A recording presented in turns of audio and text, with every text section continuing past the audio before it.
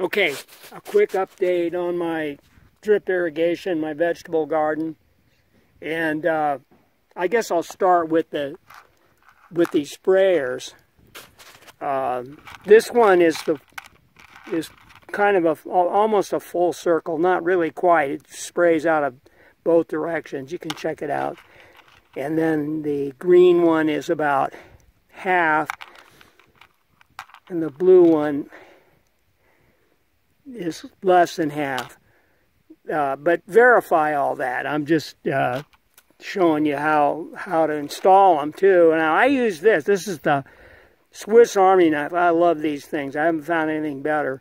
And I believe this is the Huntsman. And you want to have a punch.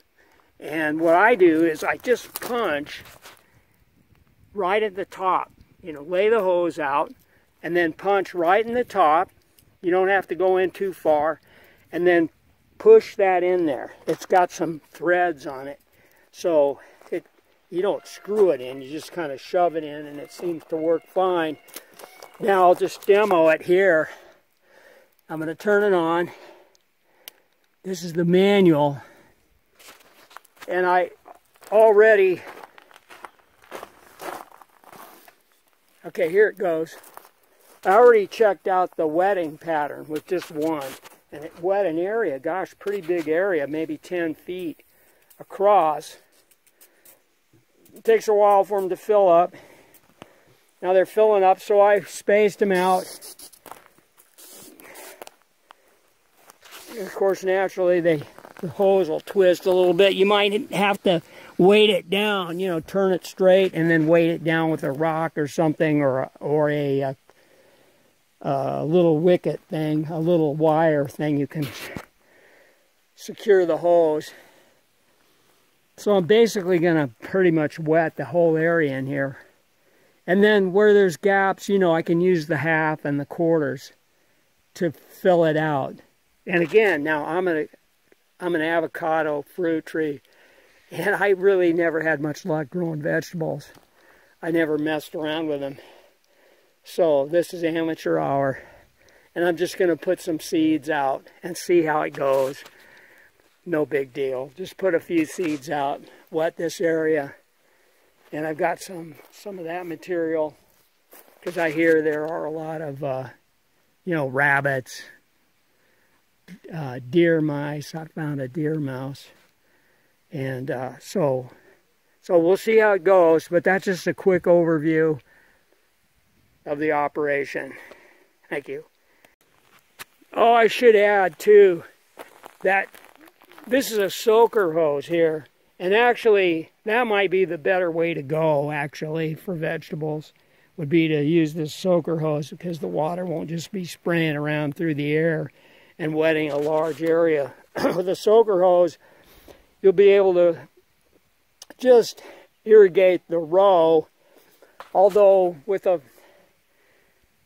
with the wider pattern as they grow, as they get, you know, depending, again, I'm an amateur here, of vegetables, but you'll wet a larger area for a longer period of time as the roots expand out, uh, they'll they'll use up that water.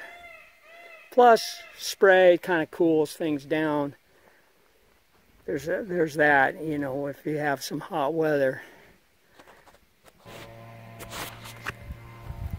Also, to fill in the blanks, I I I just had these here already, but you can use emitters these are adjustable emitters from maybe 10 gallons an hour down to almost nothing. You just uh, turn turn this, turn the cap to restrict or, or, open the flow. So, and I've got some of those. They, they were already in there. And I'm just going to leave them there. Maybe add a few of those instead of the, the, the sprayers other thoughts. You know, I haven't done this in a while, but you have to be, you have to have enough pressure here to run, you know, to keep your drip lines working properly. And it's probably a minimum of 20 psi, 20 to 30 psi. And you don't want to get too high because you could start popping things off. But a minimum of 20 and then it, and then remember the more perforations you have. Oh look at this. Look at this thing. These are beautiful. I love these lizards. I've always been a lizard guy. Ah I don't know what that thing is. A iguana sometimes I see a pair of them Oh, he's he's got his eye on me. I'm trying to get a good picture of him. Oh, there he goes. Looks like he lost his tail. Oh, look. This this is another reason I kind of wanted to put water out, is I want to attract wildlife. Look at that. He's just going for that water on the leaf. I mean, this is going to be watering every day is going to really help out some of these animals. And I'm pleased to do that. Very happy to do that. Anyway, back to the irrigation. There's so many different ways of approaching this. I showed you the punch. I showed you the punch here, and I've actually just punched a hole in a hose, not too big a hole, and sometimes that just serves as a as an emitter. You can't put in too many, or or again, if you don't have an adequate water supply, or if your drip lines are too long, the water won't reach the end of the drip line. Another thing is you could simply put in a, a sprinkler or two, a big one, a rainbird, a big sprinkler, and just wet the whole thing. But that could, you know, that could be wasteful. And when you're wetting outside the zone, you would, uh, you know, you would promote growth of undesirable weeds and so on.